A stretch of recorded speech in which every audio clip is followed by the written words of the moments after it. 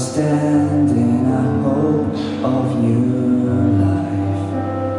By grace I'm free, you rescued me. Oh.